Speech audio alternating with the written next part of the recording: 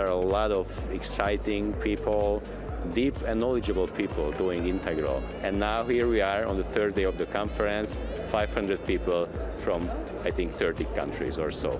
So I can say our vision has been come true. And we created a new format. We want to be true to the term integral, meaning that we are combining mental sharing and lectures, both academic and um, general. We're combining that with deep community work and with deep transformational inner work.